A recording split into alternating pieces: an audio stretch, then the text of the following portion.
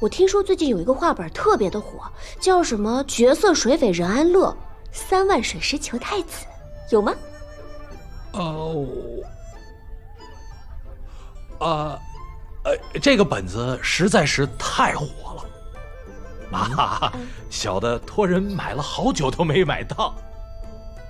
这个，要不今天我给二位讲一个安宁将军镇守边疆、定西北的故事，怎么样？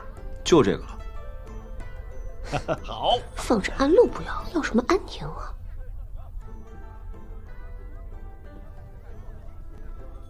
哦，殿下你来了，快来！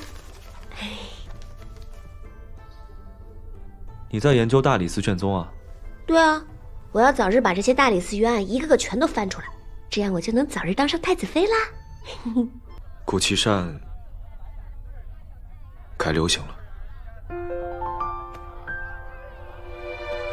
哎呀，没事，来日方长嘛。不过太子殿下因为此事就觉得愧对于我，其实我也不吃亏。哎，那今天这桌酒席就当是太子殿下你请喽，快坐吧。我今日还为殿下安排了一场好戏。人呢？哎，来了来了，来了来了。哎呀，你看，哎，小的来晚了，请太子。任大人恕罪。哎呀，没事没事，来的正好。我本来想跟你把酒言欢的，这不是怕你尴尬吗？贴心啊。今天两位想听点什么？随意。啊。哎，我听说最近有一个画本特别的火，叫什么“绝色水匪任安乐，三万水师求太子”，有吗？哦。啊，呃，这个本子实在是太火了。啊，小的托人买了好久都没买到。这个，要不今天我给二位讲一个安宁将军镇守边疆、定西北的故事，怎么样？就这个了。好，放着安陆不要，要什么安宁啊？话说，当今皇上有位公主。英姿飒爽，巾帼不让须眉，驰骋疆场，无往而不胜。她便是长公主安宁。这安宁公主自幼极爱习武，十二岁便在秋寿宴前技压群雄。皇上大喜，问其所愿。公主不要金玉满堂，不要绫罗红妆，唯愿远赴西北，镇守边疆。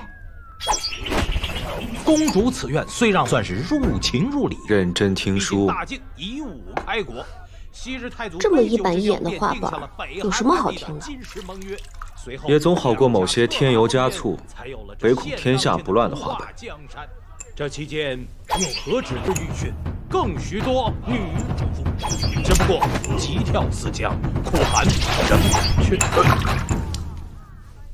这是赏你的。谢殿下。继续，有任何情况都不要停。遵命。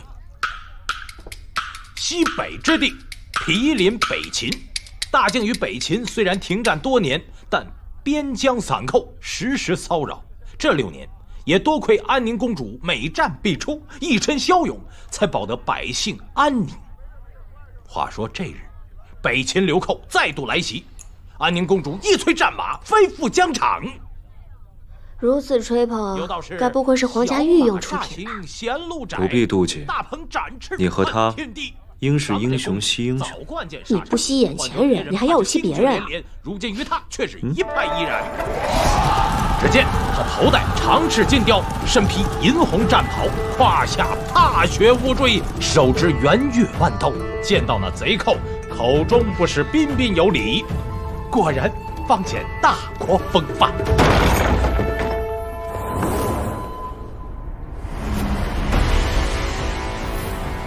你就是任安乐，安宁。